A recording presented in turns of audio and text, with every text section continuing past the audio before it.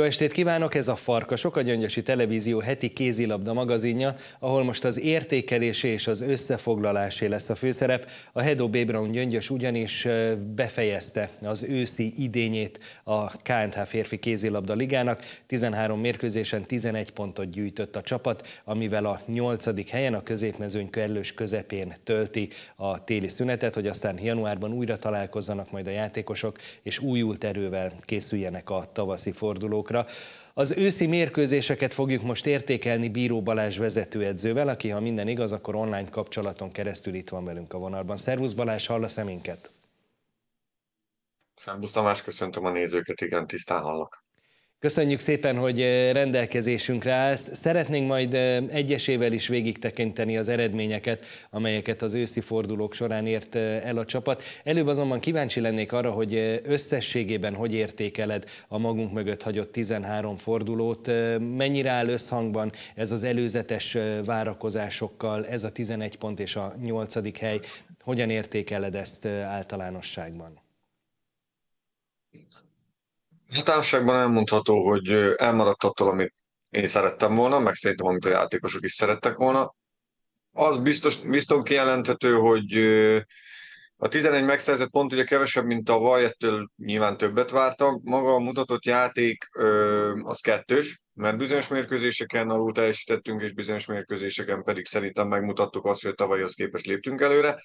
Az a nehéz ebben, hogy nyilván a statisztikai adatok azok összességében nem feltétlenül amellett vannak, hogy hatalmas az előrelépés, de mondom még egyszer, ennél ez jóval mélyebb elemzést igényel, és jóval mélyebb ö, dolgokra is mutat, tehát önmagában ezek a statisztikai adatok, ezek önmagában nem, nem feltétlenül adják azt vissza, hogy, hogy hol tartunk.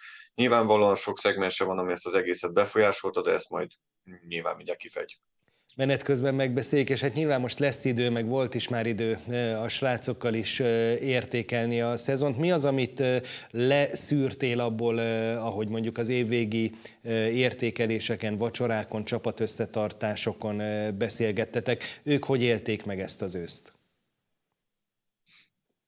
Hmm, hasonlóképpen, nyilván már évközben is sokat beszélgettünk erről, ők is tisztában vannak azzal, hogy volt két-három olyan mérkőzés, amit elrontottunk, és nyilván tisztában vannak azzal, hogy amikor amikor igazán összeállnak a dolgok, amikor úgy ö, tudunk megérkezni egy mérkőzésre, hogy ö, teljesek vagyunk, hogy egészségesek vagyunk, és bizonyos posztokon nem ö, megyünk egy minimum alá a teljesítménybe, akkor azt gondolom, hogy ö, bármelyik riválisunkkal fel tudjuk venni a versenyt, legyen szó Firedről, Csurgóról vagy Tatabányáról. Hát azért mondom ezt, hogy, ö, hogy magunknak köszönhetjük azt, hogy egy kicsit ilyen nehéz helyzetbe sodoltuk magunkat, Összességében ők is érzik azt, és én is elmondtam nekik, hogy abban az esetben, hogyha arról beszélünk, hogy a 6-8 volt a célkitűzés, akkor rendben vagyunk, hiszen 8 vagyunk, az ég egyet a világon semmi gond nincs, és nem pontokban határoztuk meg azt, hogy idén hanyadiknak kell lenni, és hol kell végeznünk, hanem a 6-8 helyről beszéltünk. De ezt mind ők, mind pedig én is nagyon jól érzem, hogy ebben ezért jóval több van, és ebben a fél évben benne is hagytunk jóval többet is.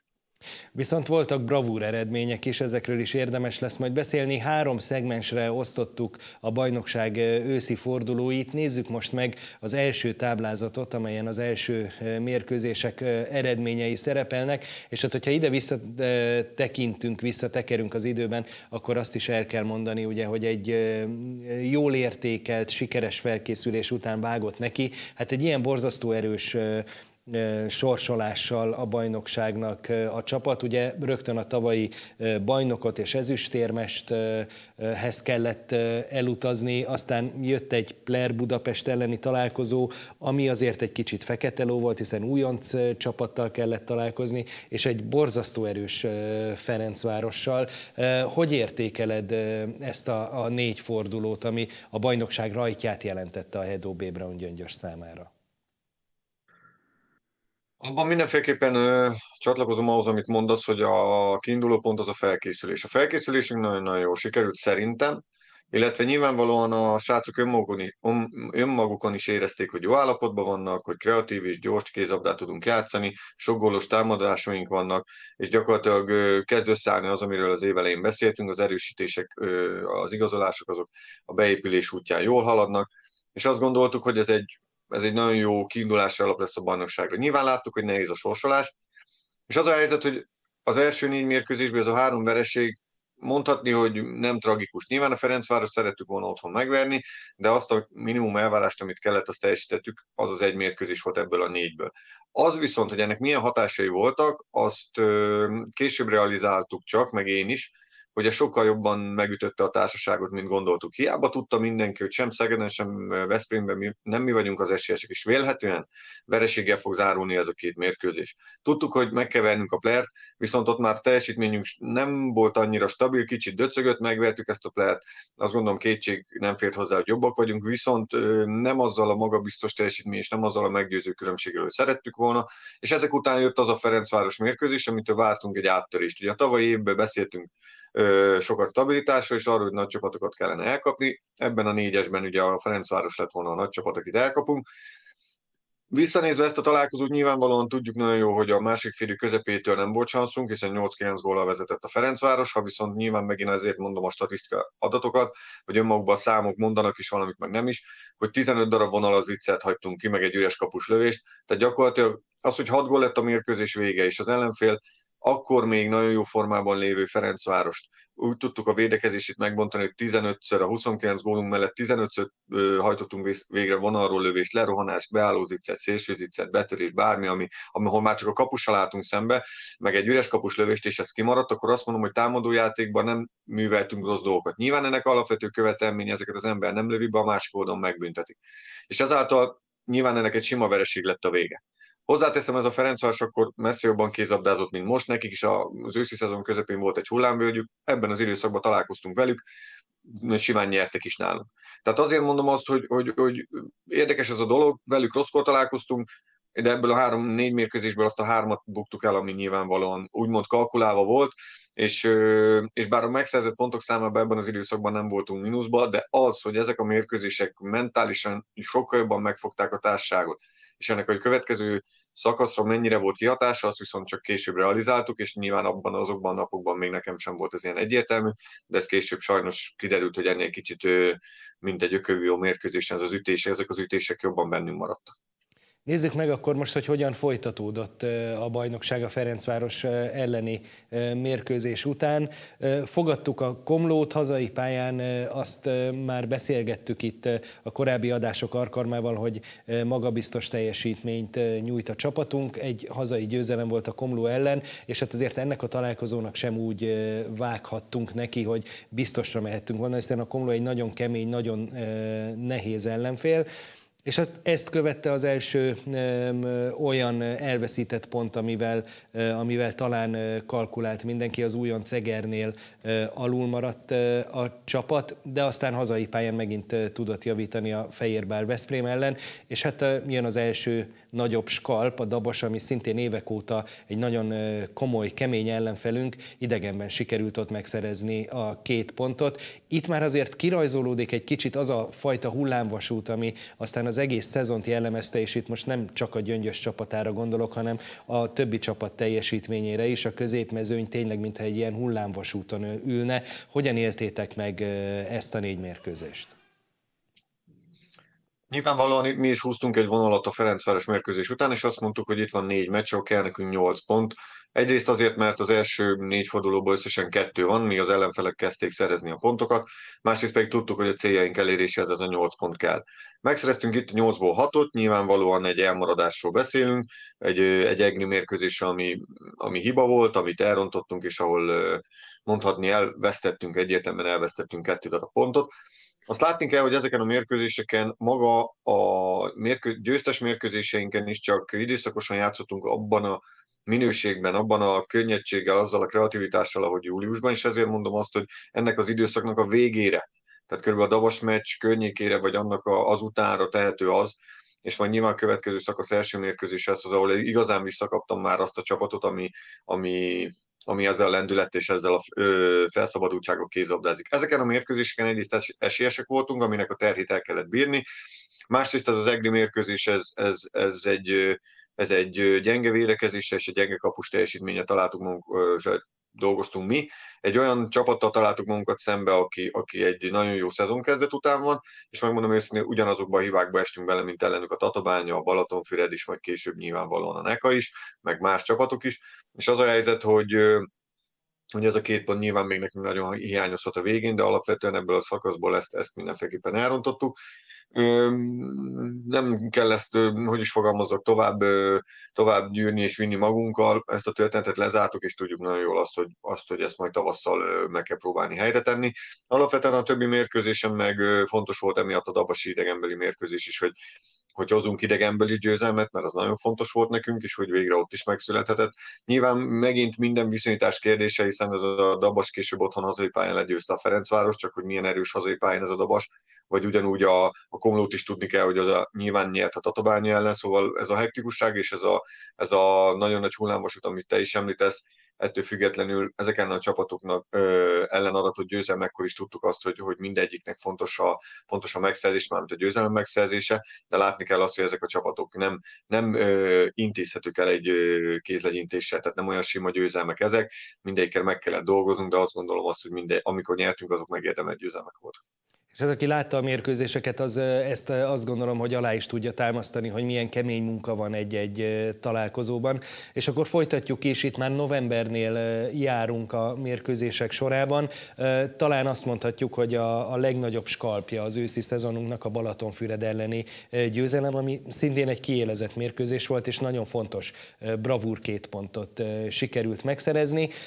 Aztán a hullámhegyet követte egy apró hullámvölgy, szintén egy kiélezett, egy gólos mérkőzésen maradt alul a csapat Balatonbogláron a Nekával szemben, és talán a mérkőzést látva akkor egy kicsit elvesztett pontként éltük meg a csurgó elleni döntetlent, de én azt gondolom így utólag visszatekintve, hogy azért ez is a bravúrok sorába sorolható, hiszen a csurgó is évek óta az első ötben van a mezőnyben. A tavalyi év nagy mumusa, a Budakalász az most is legyőzte a csapatot, és jött a szezonzáró, a Tatabánya elleni mérkőzés, ahol pedig biztos vezetésről az utolsó 10 percben tudott az ellenfelünk 60-ban fordítani szurkolóként, külső szemlélőként itt is nagyon vegyes a kép, és gondolom, hogy ezt menedzselni menet közben sem volt azért könnyű, hiszen tényleg olyan hullámhegyek és hullámvölgyek követték egymást, ami, ami mind mentálisan, mind fizikálisan is megterhelheti a csapatot. Így utólag visszatekintve erre az utolsó szakaszra, hogyan értékeled a mérkőzéseket? Akkor, amikor elkezdtük ezt az utolsó szakaszt, akkor a srácokkal ugye mm, szintén kitűztünk egy célt.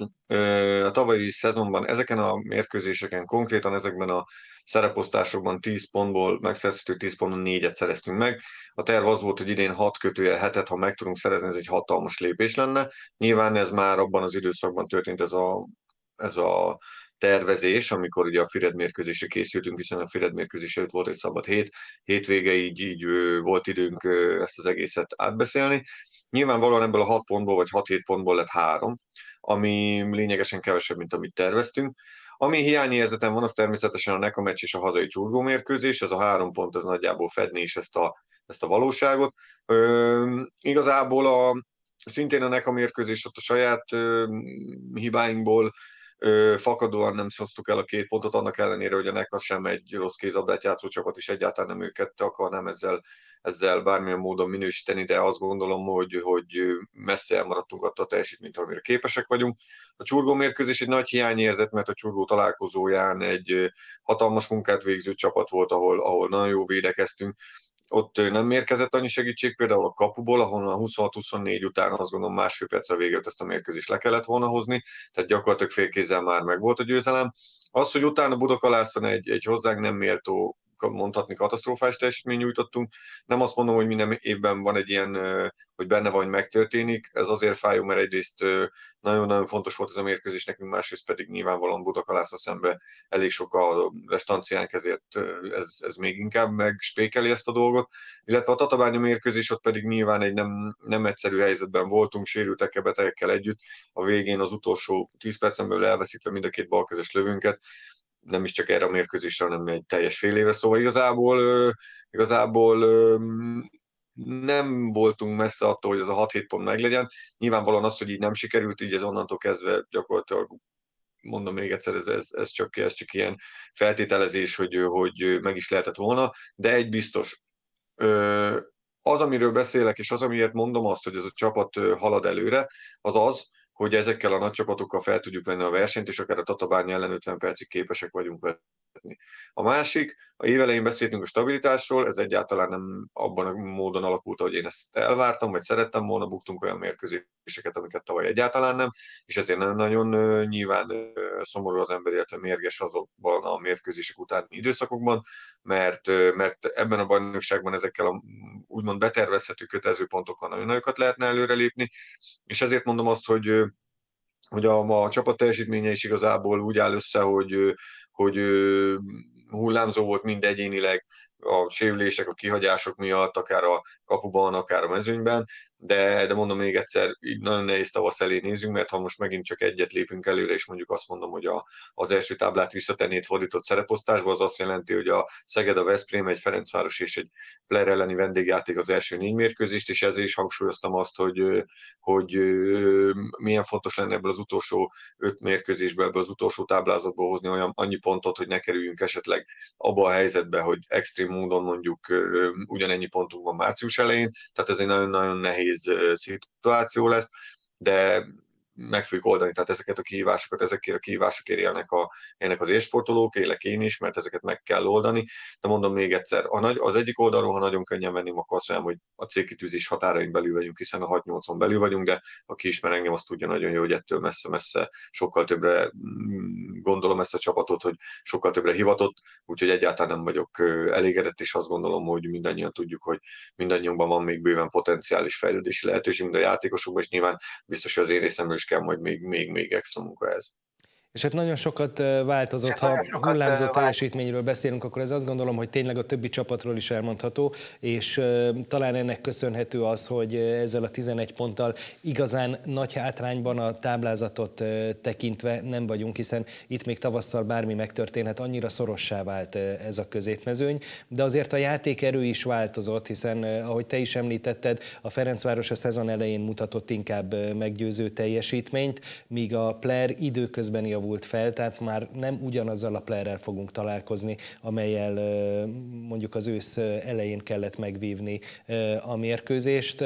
Te hogy látod egyébként ezeket az erőviszonyokat, mennyire rajzolódtak át az őszi szezon végére? Nagyon, azt gondolom nagyon. Egyrészt a nagy csapatok érinthetetlensége az, az mondhatni odaveszett, szóval az, hogy a Balatonfüred 10 ponttal végzett, még nagyobb mínuszban van azt gondolom ebben az őszi szezonban, mint mi. Talán ő van a legnagyobb mínuszban. A Ferencváros hullámzó teljesítmény nyújtott neki egy davasi vereség, vagy pedig az, hogy a, a számára legfontosabb időszakból, ami a Firet Tatabánya csurgó mérkőzés volt, összesen egy pontot tudott összehozni, abban a szezon közepi időszakban ők is elég nagy gödörbe voltak, amiből most úgy tűnik, hogy kimásztak. A Tatabányának ugye megvoltak a vereségei, a Füred, azt arról beszéltünk, a Komló elindult felfele, csupa nagy csapatot vert meg, amikor, amikor pontot szerzett, most ugye nagyon simán verte meg a Dabast a végén, már 10 gól is volt a különbség többször, a Dabas otthon a Ferencváros, a Egerről beszéltünk, hogy milyen nagy csapatokat kapott el, talán egyedül a KKFT esetében van az, hogy, azt, hogy nem tett csodát, hiszen a Pler is otthon megverte a Balatonfüredet, elindult borzasztóan felfele, 45 perc után hárommal vezetett csurgón, szóval mind, majd mindegyik csapatról úgy lehet beszélni, hogy, hogy képes nagy dolgokra és, és hibákra is. És ezért mondom azt, hogy ez a, ez a fél év arra adott volna nekünk lehetőséget, hogy valami hasonlót csináljunk, mint a Covid idején a csapat, amikor ugye a lefújt bajnokságban harmadikként végzett. Most ha igazán jól sikerült volna ez a tavaszunk, akkor adtunk volna magunknak egy nyitott kaput arra, hogy egy hasonló teljesítményt érjünk el egy olyan szezonban, amit meg nem fognak lefújni a Covid miatt, remélhetőleg. Tehát, hogy azért mondom, hogy ez egy nagyon nagy, nagyon nagy szansz volt. Nyilván még nincs vége a bajnokságnak, hiszen ugyanez a hullámzás megtörténhet a második fél évben is, de én az én személyes véleményem az, hogy sokkal jobban fognak figyelni a csapatok például a hazai mérkőzéseikre, a nagy csapatok sokkal komolyabb erőbefektetésre fognak dolgozni, és, és ők is fogják látni, hogy, hogy ebben lehet majd az ellen mindenkinek a saját riválisához képest előrelépés hogy a úgymond kötelező meccseket nem bukják el, de nyilvánvalóan ez csak az én véleményem. A Tatabányának véget ér a, nem, a nemzetközi szakasz, a Ferencvárosnak nyilván meg lesz a nemzetközi kupás szakasz, de ők egy elég komplex csapat, ö, rengeteg jó játékossal és, és két komplet sorral. A Balatonfüred nyilvánvalóan egy minőségi társaság, aki azt gondolom, hogy össze fogja kapni magát, és nekünk is megvan még az a potenciálunk, ami hiányzott ebből a fél évből Nyilván nekünk inkább azt gondolom, hogy mentális téren kell majd sokat előrelépni, támadó taktikailag pedig abban, hogy a jobbkezes jobbátlővel való támadásainkat meg kell majd oldani. Ebből a szempontból most talán mondhatjuk azt, hogy jókor jön a szünet, hiszen majd lesz idő ezen dolgozni, de nyilván nem könnyíti meg a csapat helyzetét, amellett, amire már te is utaltál, hogy egy egész nehéz sorsolás vár a fiúkra, hogy két balkezes átlövőjét is elvesztette a csapat, ahogy arra utaltál hosszabb időre is, Séfer Zsolt és Lucián Bura a Tatabánya elleni mérkőzésen szenvedett sérülést. Hogyan lehet őket pótolni, mennyire kell most a csapat csapat szerkezetét megbontani, átalakítani, milyen fejfájást okoz ez most neked, hiszen ez azért elsősorban majd a te feladatod lesz. Nagyon nem egyszerű a szituáció, hiszen nyilván közben építjük a jövő évi csapatot is.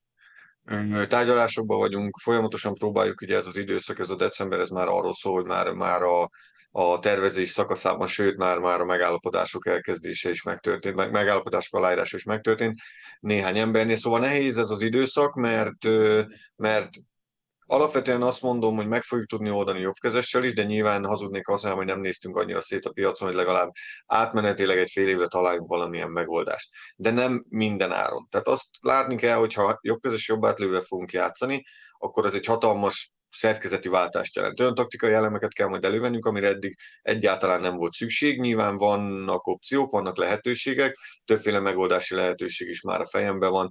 Egy kicsit át kell struktúrálnunk pár dolgot, akár egy emberelőnyös játékot, vagy akár a keresztjátékainkat, hiszen teljesen mást kell játszani jobbkezes jobbátlővel, mint egy balkezes jobbátlővel. Van olyan helyzet, amiben mondjuk a védekezésben lehet mondjuk előnye, de ö, bármilyen furán is hangzik, lehet, hogy fogunk tudni olyan rendszert alkalmazni, ami, ami, ami korábban nem volt annyira hatásos, de mondom még egyszer, ez, ez alapvetően, alapvetően tényleg fontos hogy kapok rá erre legalább egy hónapot, és az is fontos, hogy az első négy mérkőzésből igazából, tehát a, a Szeged és a Veszprém elleni mérkőzéssel egy-egy hetet tudunk ezen nyújtani ezen a úgymond felkészülési időszakon. Nyilván a Plennél idegenben mindenféleképpen nyernünk kell, a Ferencváros ellen idegenbeli mérkőzés pedig már egy ö, második hónap végi, tehát gyakorlatilag 6 vagy 7 hét után fogunk oda, oda megérkezni, az pedig már egy elegendő időnek kell ahhoz lenni, hogy alapvetően az egymást ismerő, egymásra játékkapcsolatban levő játékosok ö, alkalmazkodjanak ez az új helyzethez, ezért bízom benne, hogy, hogy addigra már azért jól fog festeni ez a dolog biztos, hogy egy, egy teljesen más, más színezete lesz ennek a dolognak, de mondom még egyszer, ez egy alap kérdés lesz a következő fél évre, és emellé jönnek még azok, amiket alapvetően is meg kellett volna újítanunk, vagy amin javítanunk kellett volna, tehát visszanézve a fél évet, a mérkőzéseinket, elemezve az adatokat, a, amiket alapvetően változtatnunk, vagy módosítanunk, vagy illetve leginkább javítanunk kellett volna, azoknak a, a dolgai is, is meg fog történni, ehhez fog még hozzájönni az, hogy a jobb közös jobb átlővel való játéknak ö, lesz egy új színezete, meglátjuk. Én is kíváncsian várom, de mondom még egyszer, én ezektől a ezektől a különösen taktikai kihívásoktól és, és szerkezeti átalakításoktól egyáltalán nem rettenek meg, és nem fogok erre panaszkodni. Ez ettől függetlenül egy ténykérdés, azért kell erről beszélnünk, de egyáltalán nem fogok erre panaszkodni.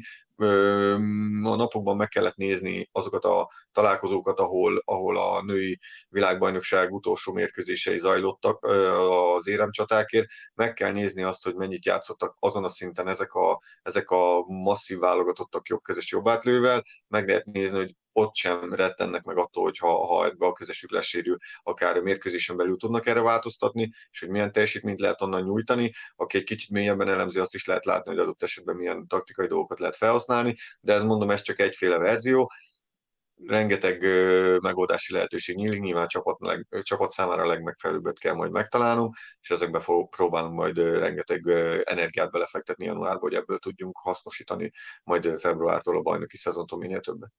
Mikor kezdődik ez a munka, hogyan indul a felkészülés, melyik napon találkozik majd az új évben először a keret?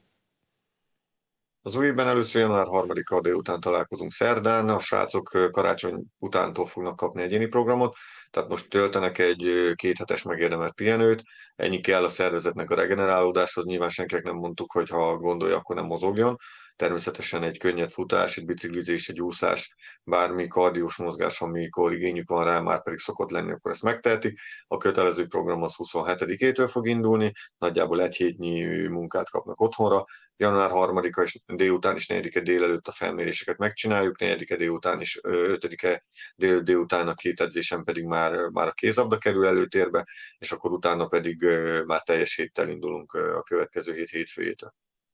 Akkor most elsősorban jó pihenést eh, kívánunk neked és a csapatnak egyaránt, aztán januártól nagyon jó munkát majd, és nagyon várjuk az új mérkőzéseket, hiszen az új év a kézilabda két nagy ünnepében indul majd Gyöngyösön, hiszen jön a Veszprém és a Szeged is a Gyöngyösi csarnokba. Köszönöm szépen, hogy rendelkezésünkre álltál, és minden jót kívánok!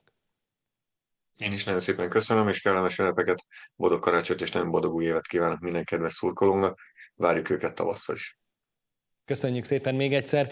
Ez volt a Farkasok, a Gyöngyösi Televízió heti kézilabda magazinja erre a hétre. Egy hét múlva az utánpótlás teljesítményét értékeljük majd Rosta István utánpótlás igazgatóval.